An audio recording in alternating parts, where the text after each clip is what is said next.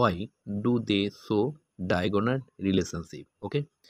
A diagonal relationship is said to exist between certain pairs of diagonally adjacent element in the second and third period of the periodic table okay?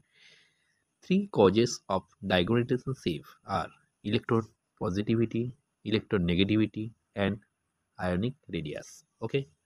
Now this pair lithium and magnesium, beryllium and aluminium, boron and silicon exhibit similar properties.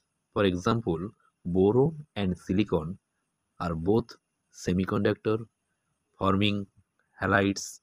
They are hydrolyzed in water and have acidic oxide. Okay. Show the picture diagonal relationship that is group 1 group 2 13 14 15 okay?